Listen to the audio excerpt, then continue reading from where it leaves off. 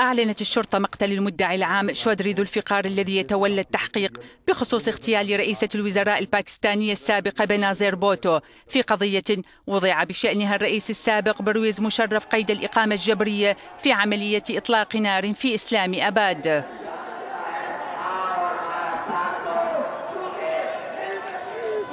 ذو الفقار كان يقود سيارته حين أطلقت عليه رصاصات من قبل أشخاص على دراجة نارية في أحد شوارع العاصمة الباكستانية ما أدى إلى إصابة حارسه الشخصي ومقتل امرأة من المار. وكان ذو الفقار متوجها إلى جلسة جديدة في محكمة مكافحة الإرهاب في مدينة الروالبندي مخصصة لقضية اغتيال بنازير بوتو في العام 2007